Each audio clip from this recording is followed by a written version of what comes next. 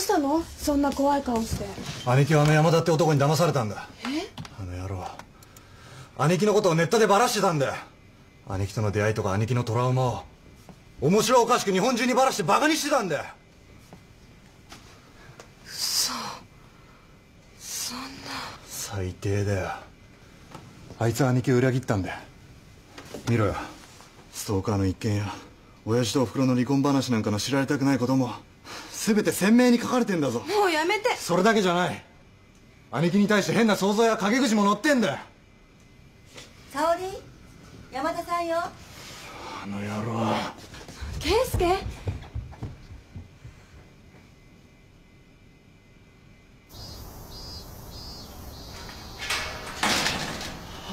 おはようございます。あの何の？兄貴をネットにさらしやがって圭介やめて。話をさせて。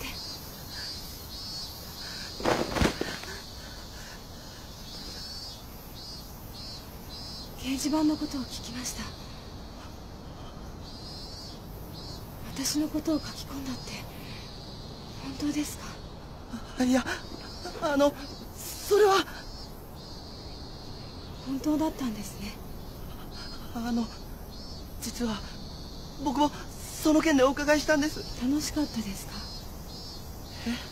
私の話を面白おかしくみんなにさらけ出して楽しかったですか？そんなつもりじゃないんです。あの掲示板は僕がどうやって女性の方と付き合っていいのかわからなかったので。行きたくないです。あなたを信じた私がバカでした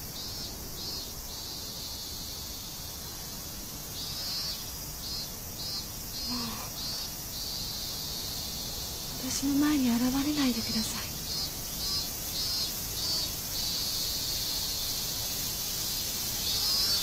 違うんです。姉とお前じゃ住む世界が違うんだよ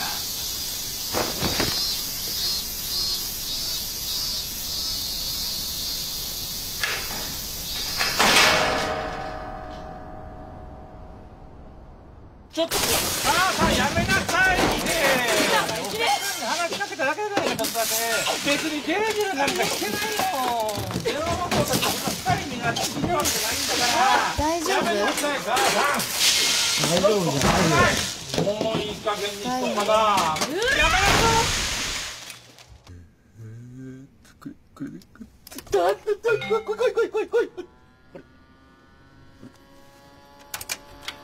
直人直人電車ってきたぞヘルメスタンに完全に拒絶されました。今度こそ本当に終わりです。俺がいない間に何があった？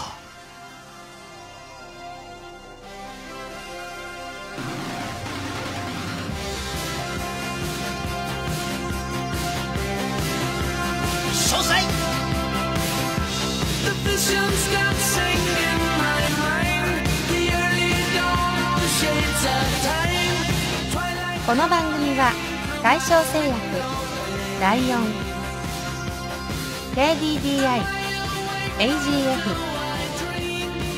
ノエビアグループ三菱モータースの提供でお送りします。だから掲示板をバラすなと言ったろ！電車が決めたことだ。しょうがないさ。なんでもっと引き止めへんかったんや。俺のアホ！やっぱりここの存在をバラしたことが原因か？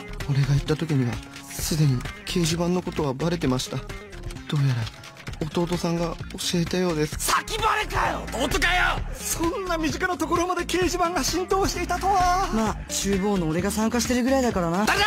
掲示板を盛り上げたのは！私たちとあなたよ。ごめんよママン。ってことはエルメスはここを見てるってことか？ヘルメスが見ると思った瞬間から正座してる俺ヘルメス！はあいや俺ちょっと着替えてくる。その可能性はほとんどなしです。ヘルメスさんも弟さんもこの掲示板にかなり不快感を抱いてたみたいだし。偏見持たれても仕方あるまい。それが我らに対する女子の普通の意見ほっとしたようないや少し残念なような。それならとりあえず安心して書き込めるな。掲示板さん見でねえのになして拒絶されちまったんだべな。ヘルメスさんは自分の知らないところでいろいろ話されていたことがショックだったようです。弁解も虚しく一方的に別れを切り出されましただったら誤解を解けばなんとかなるんじゃない？電車はここを推奨しに出かけたわけだし。ここで引き下がってどうする？ってもらえるまで説得しろエルベス家出発進行もう無理ぽ。弟さんに俺とエルメスたんじゃ住む世界が違うと言われて俺なんかがお付き合いしたいなんて思っちゃいけない人なんだと実感したんです。たとえ掲示板のことを理解してもらっても彼女を満足させられる恋愛関係を保つことは俺のスペックでは不可能です。オタを捨てることがすごい努力などと勘違いしていましたがそれは彼女に嫌われないための努力で彼女に好かれるための努力ではないんだなと痛感。もう私の前に現れないでとまで言われてようやく気づきました。もう彼女と会うことはないです。貴様！それでいいとか？まだいけるさ頑張れよ。オラたちが応援してっからよ。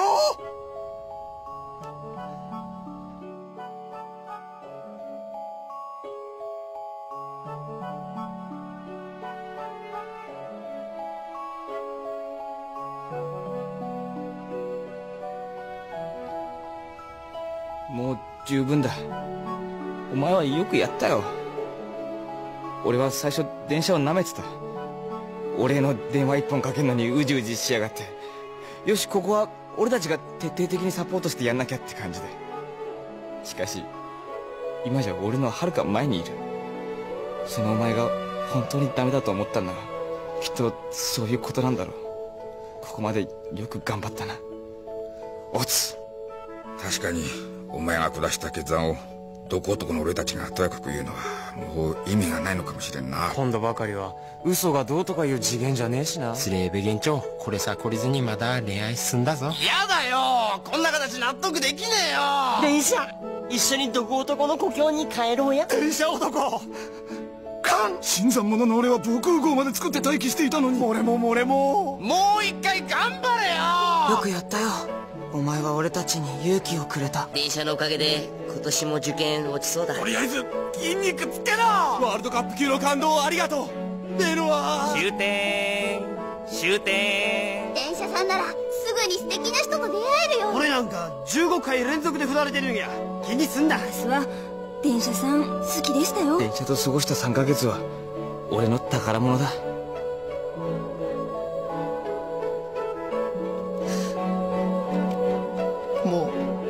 二度と書き込むことはないと思うけどお前らのことは忘れません。本当にありがとう。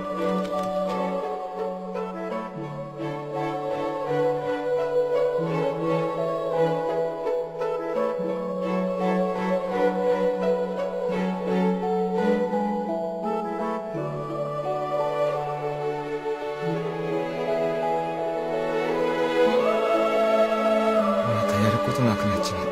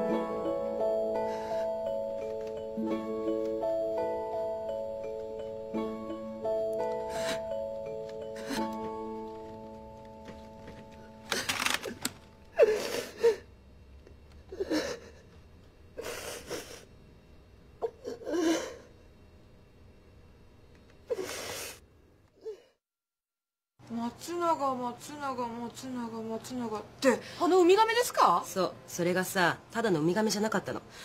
金を生むウミガメだったの？彼ね名古屋の大地主なんだって。働かなくても年収3000万。信じられる？意外なところに掘り出し物があったってわけ。ねえねえねえこれ見て見て。ほらこの凛々しい眉に分け目がどこかわからない前髪に御曹司の風格が垣間見られるでしょ。先輩もしかしてウミガメ狙ってるんですか？イタリア出張から帰ったらデートの約束しちゃった。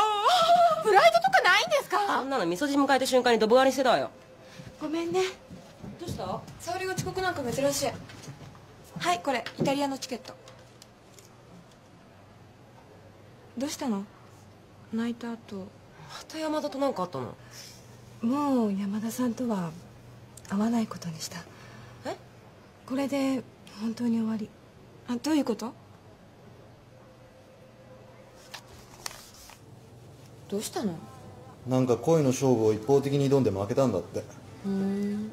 あねえ。山田と沙織が別れたって本当？別れた？いや別に付き合ってたわけじゃないし。何こじ抜けたこと言ってもらってんじゃねえやろあいつのおかげで俺が今までどんだけ。え？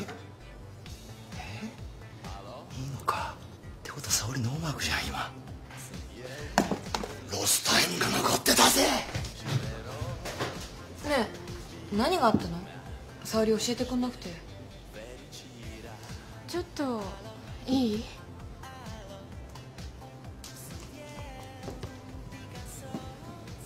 お姉さんに掲示板のこと話したんでしょ？なんて話したの？ありのままを喋っただけだよ。そのありのままを聞かせてよ。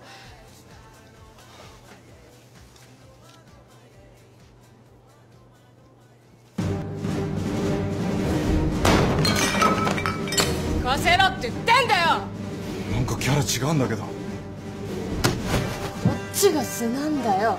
であいつは兄貴とのことを面白おかしく日本人話バカにしてたんだ。あんたさちゃんと掲示板読んだわけ？向きにもなれねえよ。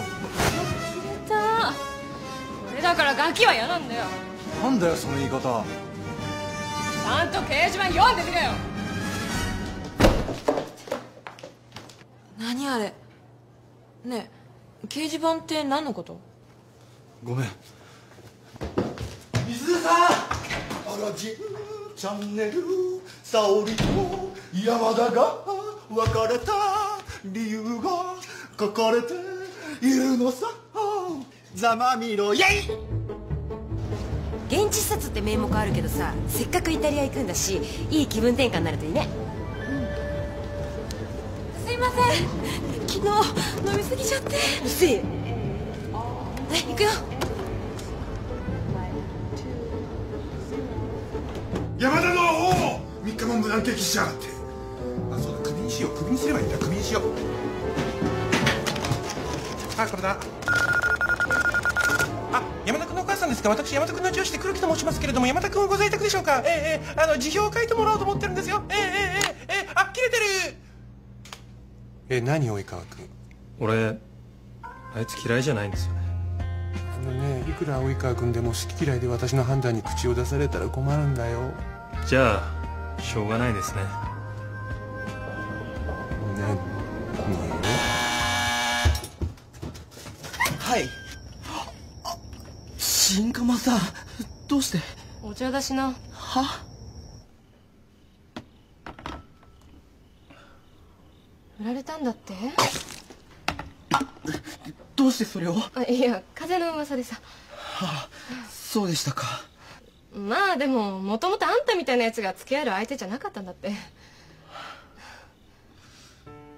ほらオタクとお嬢様だよ。美女と野獣よりありえないでしょ。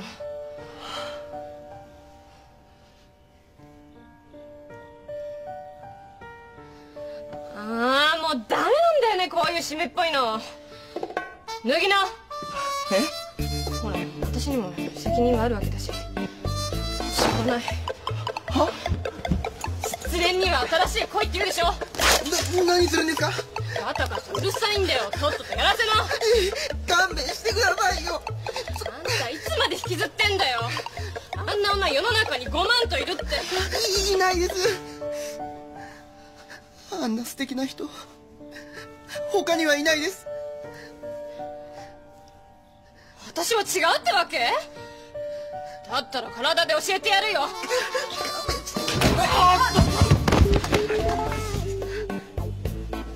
お邪魔してます。こちらこそ。お邪魔しました.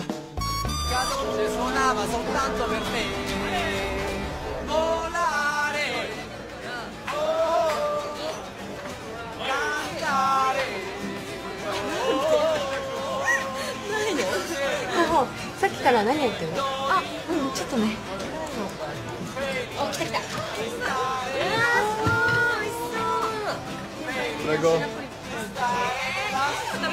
最 高やっと話がつながった。ある事情でしばらくこの掲示板から離れていてようやく追いついた。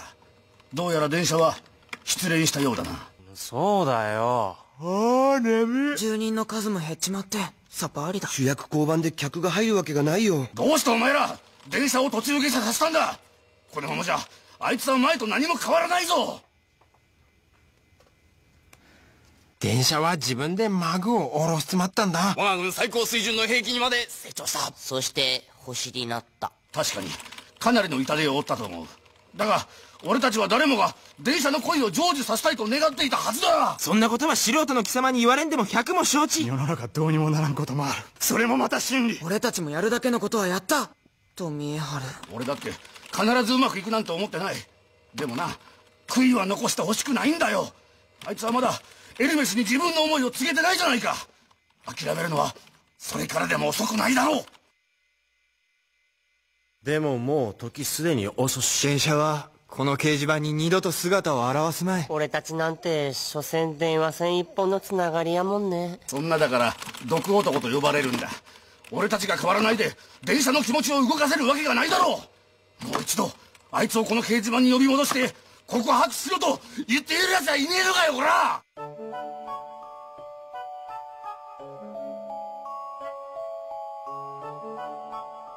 けしかけても無駄だ。俺だって本当は悔しいよ。でも電車があれじゃ。ほらやってみっかな。おいおいまた電車を傷つけるだけだぞ。違う！そうやって傷つくのを恐れて逃げてきたんは俺たちや電車は俺らの最終兵器なのだ。それは錯覚だ。あいつはもう限界なんだ！お前は忘れたとか？あの破壊兵器の脅威を。俺らが電車を支えないで誰が支える？電車をもう一度応援したい奴だけが残ればいい。お前ら本当バカばっかりだぜ！急ぐお前らに。乾杯！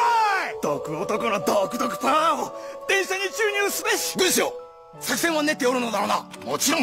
明日は日曜落ち込んでる電車が秋葉に行く確率高し秋葉潜入計画っつのはどんだ？前に電車が中央線沿いに住んでるって言ってたから駅で待ち構えてみる。俺も駅でアナウンスする。私は路上ライブを秋葉でやってみよう。俺は秋葉の中心で電車を叫ぶ。でも上空3000フィートから呼びかける。電車の本を書いて出版する。中は秋葉で損失をかける。秋葉を街ごと買い占めて電車を探す。他の掲示板で何重にもトラップ仕掛けてやる。お前らほんといいやつだな他人のことでこんなに必死になってさお前らみたいな奴らが周りにいれば俺の人生もっと楽しかっただろうな。何言ってやがる。俺たちはお前の仲間でもあるんだぞ。一人で乗り越えられない壁にぶち当たった時はいつでも相談に乗ってやる。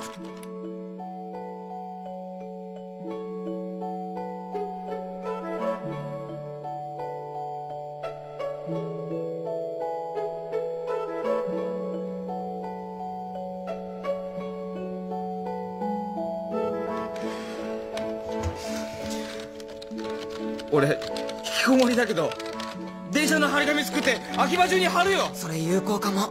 ちゃんと許可取って貼れよ。じゃあ俺はテレビに映って呼びかけよう。よーし。必ず電車をこの掲示板に戻してみてるぞ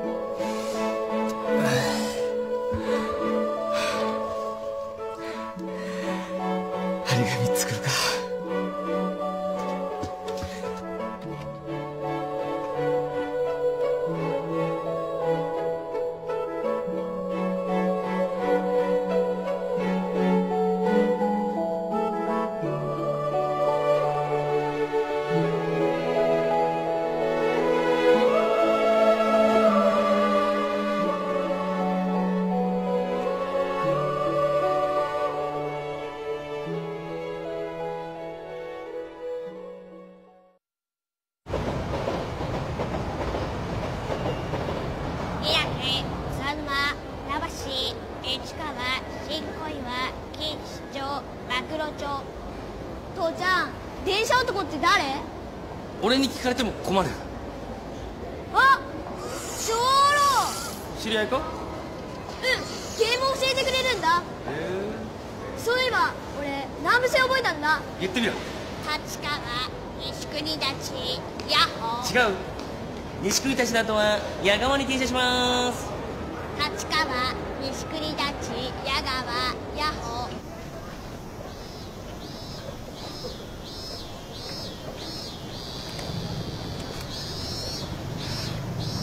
怖い眩しい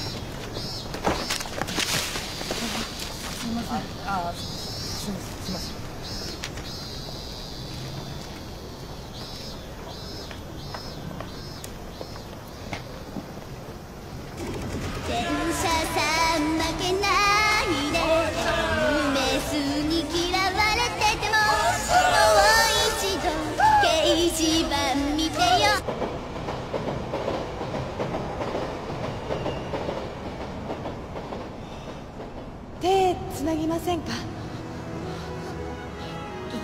どどどどうぞ。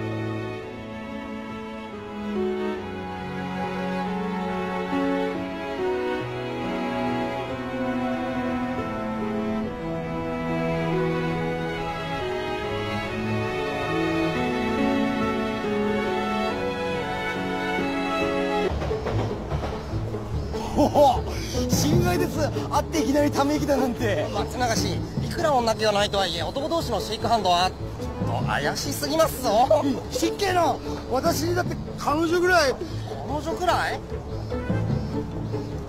山田氏我々と最初から行動を共にするだなんて久々ですね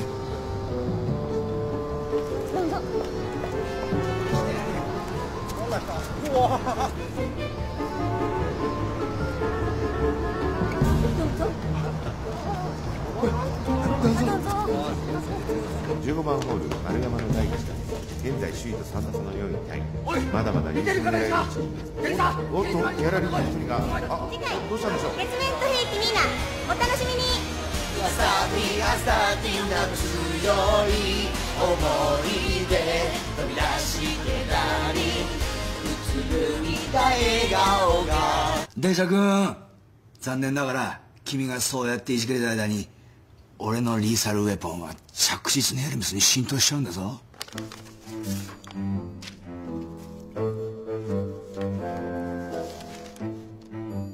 あらいい男。昇進の沙織は母親の強い勧めを断りきれずに。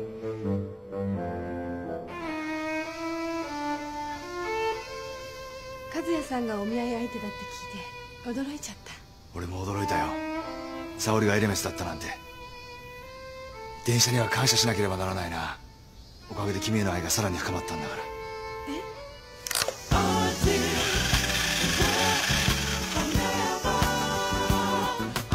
あそこを見てごらん。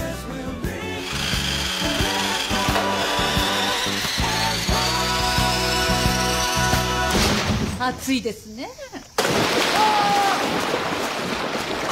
って妄想で失敗してどうすんだよてよ。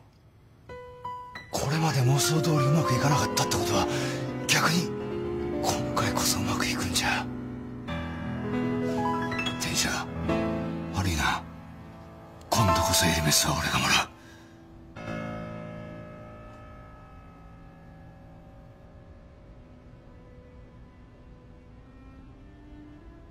何してんの？ごめん圭介から聞いて。だからって。沙織聞いて。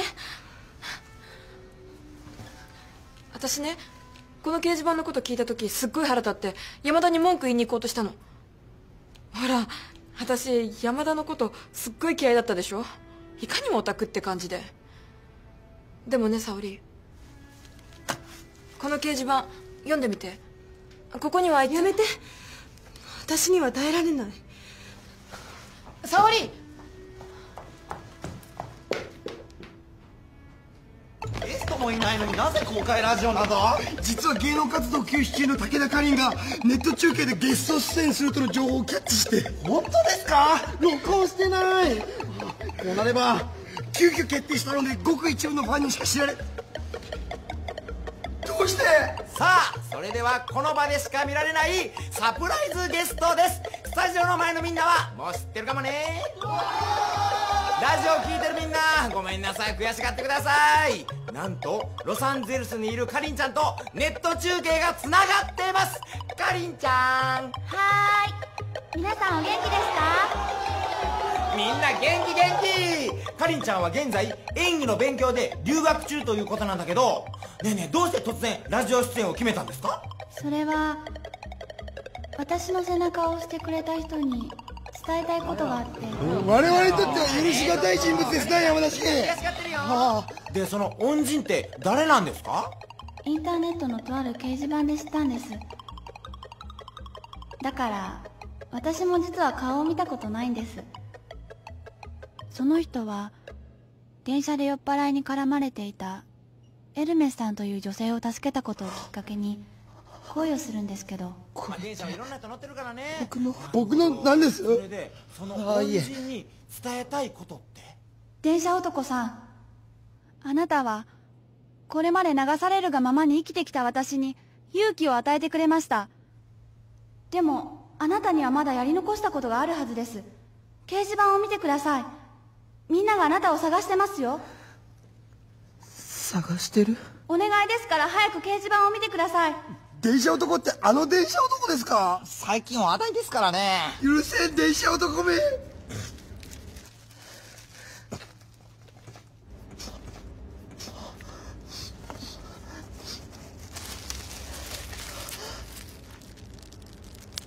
電車告白する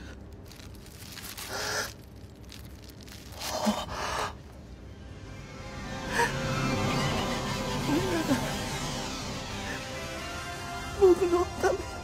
どうせ電車男なんて大したやつじゃないです。きっとこんな変な顔したやつです。そうですよ。私も同感ですよ。きっとねこんなひどい顔してましたよいやもっとこんな変な声いや待ってなんか甘いです甘いですこんなんですよお前もピラミ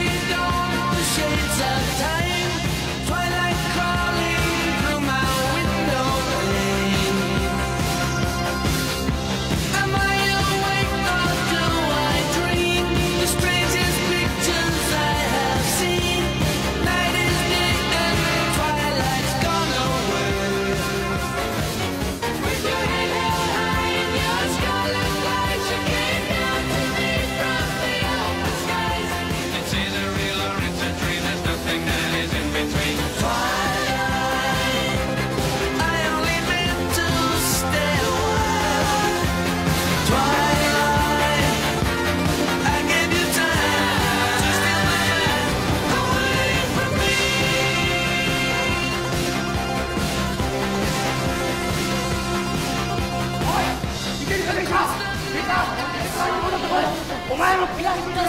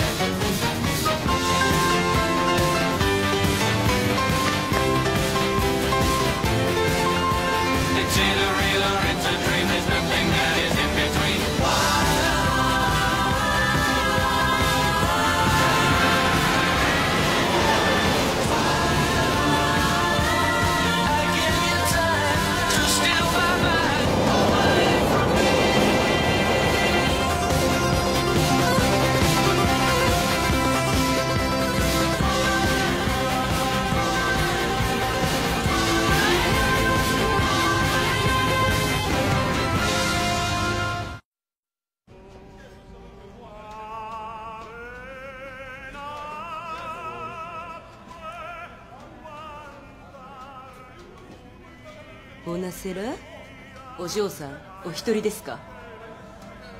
優子さん。聞いたよカホから。きっと山田もさ悪気があってやったわけじゃないんですさ。悪気がなければ何をしてもいいんですか？私は許せません。別に許さなくてもいいんじゃない？ただあいつがどんな思いで掲示板に書き込んでたかくらいは知ってあげてもいいんじゃない？カオがさ掲示板読んで山田のこと見直したんだって。すごく感動したって。あんなにオタク毛嫌いしてたのにね。きっと心に響く何かあったんじゃないのかな？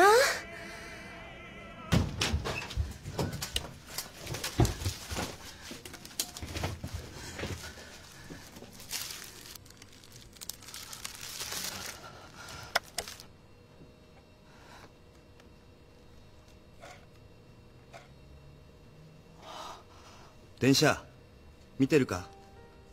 俺は以前ここでスレ嵐と呼ばれた住人だ。あの時の俺は足を怪我して生きがいだったバスケができないと診断されやけになっていた。あれから2ヶ月が経ってチームには解雇されたが足の方はリハビリをして順調に回復している。毎日が楽しいよ。いつか必ずコートにも戻ってみせる。お前がいなかったら俺はずっと前に踏み出せなかったと思う。今度はお前が前に踏み出す番だ。俺はずっとお前の恋を見守ってきた。それは10年前初めて心から愛しいと思った妻と。これから先もずっと一緒に生きていこうと再確認できた3ヶ月でもあった。俺はお前と出会えてよかったよ。そう思っている仲間は大勢いるはずだ。その仲間を代表して言わせてもらう。電車。俺たちのためにもエルメスに告白してくれ。僕はよく海外に行くんだけどぶっちゃけ海外旅行よりもエルメスん家に行くとかそっちの方がよっぽど大変なんだよ。エルメスん家行きのチケットは JTB じゃ売ってくれないわけ。どうすれば招待してもらえるのか誰も教えてくれないわけ。でもお前はそれをやってのけただろ今さらいちいちうだうだ言ってるとうんぬっ殺すぞ本当に。電車スポーツや学問と恋愛は違うんだぞ。スポーツや学問に必要なのは努力より才能かもしれないけど恋愛に必要なのは才能より努力なんだよ。絶対諦めないつもりでエルメスのことを思ってみろ。結果なんてのは誰にもわからないがお前自身が後悔しないためにも人生で一番必死になれ。もう俺はお前の背中は押さないよ。今まで十分いろんな毒男が押したしな。最後ぐらいお前自身の勇気で行ってこいや。電車まだこの恋が終わっちゃいないぞナモシ私女だけどここがゴールじゃないはずだよ。エルメスには電車が必要なんだよ。俺は電車の喜びだけじゃなく悲しみも分け合ってるつもりだ。だから傷つく時はお前一人じゃない。俺たちがついている。俺たちがついている。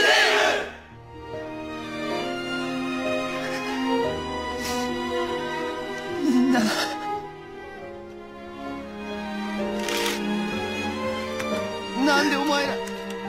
ないいやつなんだ。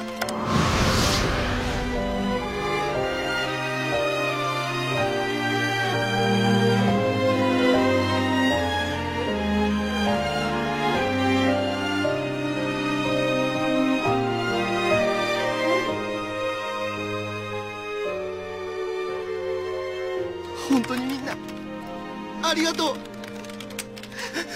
言葉の一つ一つが胸に突き刺さってきます。俺このスレに出会えてよかった。お前らと同じ時間を過ごせてよかった。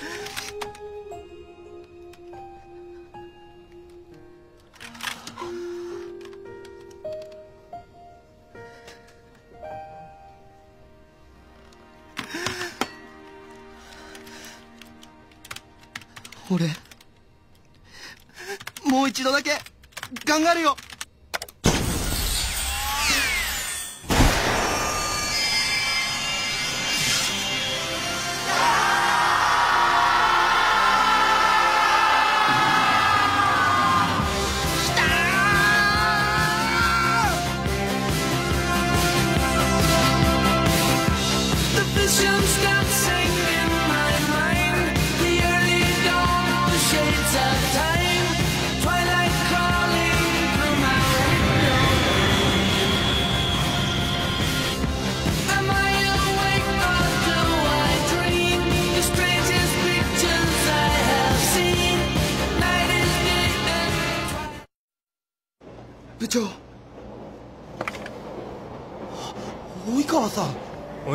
長だ。え？なあ黒木部長補佐そうでございますね。だからこれももう関係ない。あ違うんです。実はこれからいつ会えるかわからない人を待つことになりまして。だったら有給使え。サーフィンで使ったぐらいでまだ残ってるだろう。え？いいんですか？ああ。なあ黒木部長補佐もちろんでございます。及川部長ツナ缶よし寝袋よし着替えよしツナ缶よし。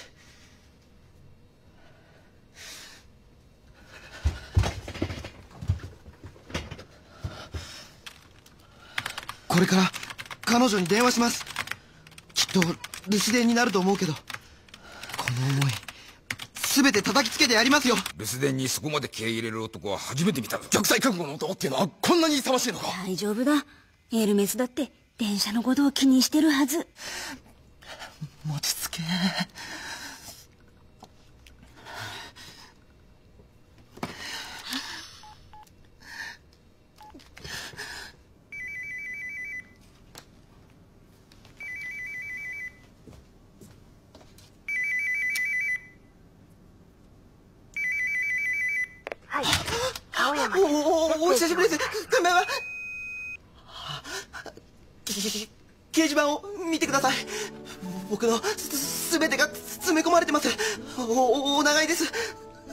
後まで読んでください。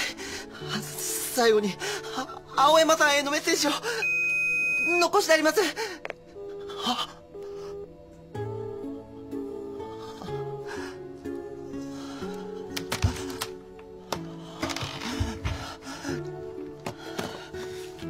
イメージとは違いましたが掲示板を見てほしいということは伝えました。ここからは彼女宛てのメッセージを書きます。エルメスさんへ。この掲示板を見てきっといろんな意味で驚いたと思います。僕自身恥ずかしくもあり懐かしくもあり変な気持ちです。だけどここにある言葉に嘘偽りはありません。それはネットのみんなにも言えることで名前も顔も知らないけど彼らは僕にとって本当の友達です。僕に唯一誇れるものがあるとするなら彼らと出会えたことだと胸を張って言えます。彼らがいたから僕はあなたを諦めませんでした。彼らがいたから僕はあなたへ自分の思いをぶつける決心ができました。明日二人だけの秘密の場所で待ってます。来るまで待ってます。最後に許可もなく掲示板に書き込んであなたを傷つけてしまったことをお許しください。電車男。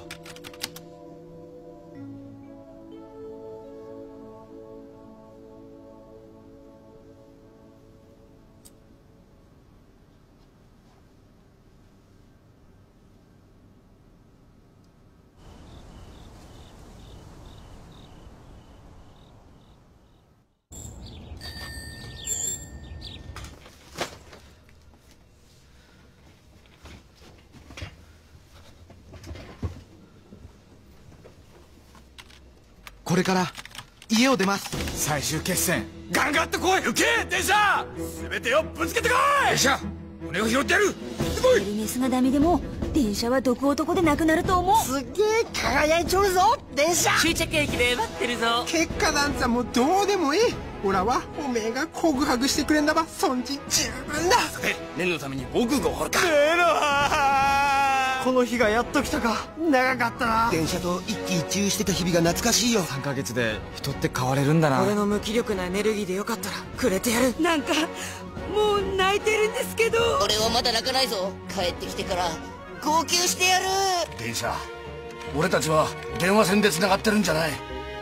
心で繋がってるんだ。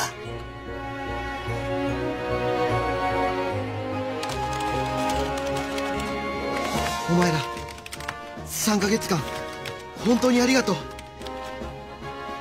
れまで長かったような短かったような夢なのか現実なのか不思議な感覚で正直不安の方が多いです。でもやるべきことはやってきます。今日は多分自分の人生を左右する日なんだろうな。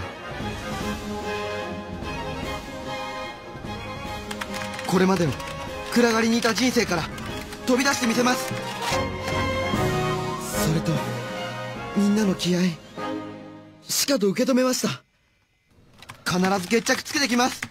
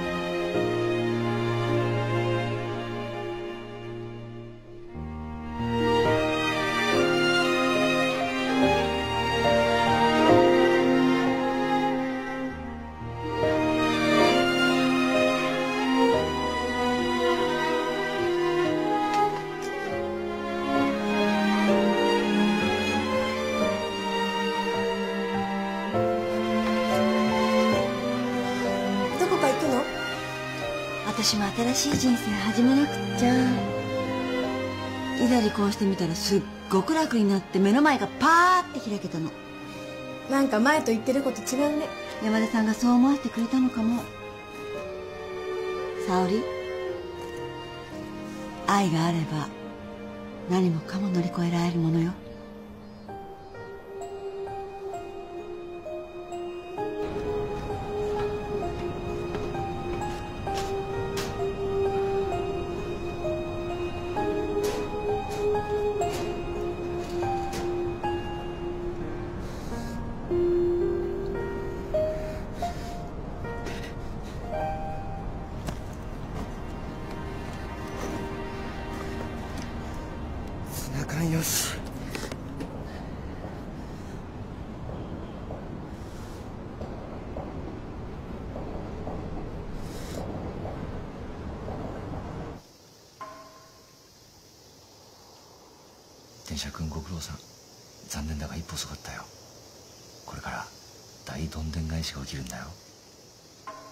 遅くなりました。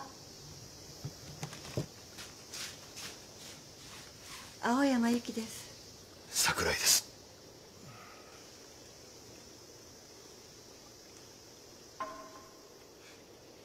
沙織さん。来ませんけど？